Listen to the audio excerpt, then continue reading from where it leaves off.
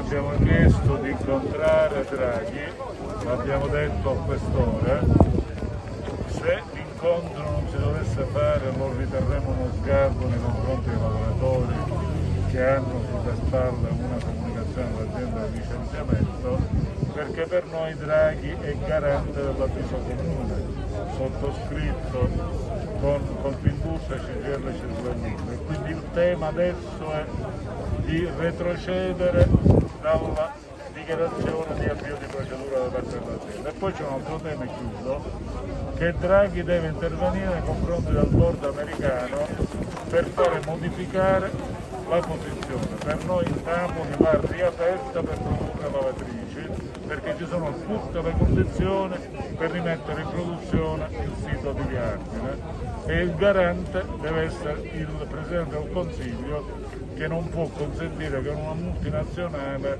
sta al di sopra delle regole nazionali.